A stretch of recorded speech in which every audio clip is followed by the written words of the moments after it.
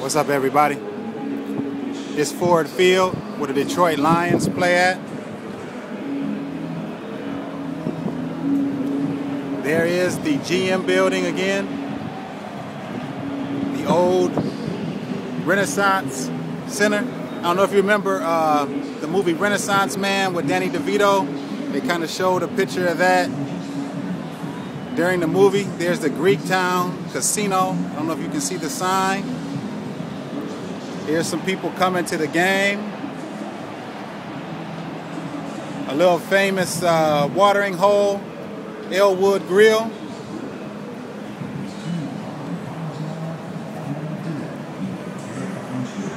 Here's some more of the skyline in Detroit.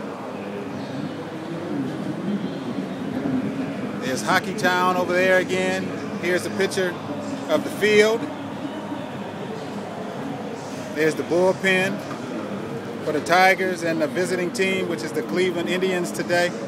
And this massive scoreboard. You see the Tiger up there.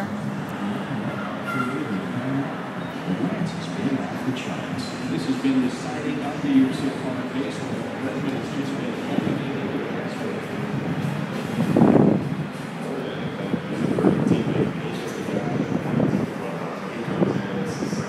keep walking back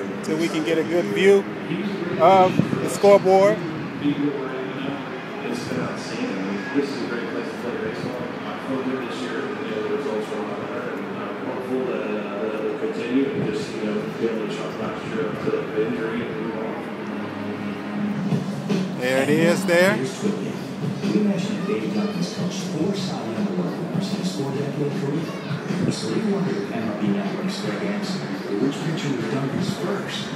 Dave Stewart, LaMarr Hoyt, Dennis Eckersley, or Bob Welch.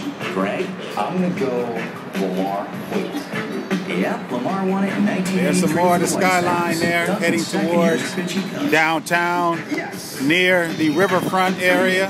I know you, Dave Duncan. Next up, Holiday presents winning road trips. Well, we salute the teams and players. All right, I'll be back with some more footage. The game hasn't started yet. There's some of the famous Tigers on the wall there. Willie Horton, Ty Cobb, Greenberg, Gehringer, Newhouser, and of course, Mr. Detroit, number six is Al Kaline. Your Chevrolet water fountain out there in the outfield.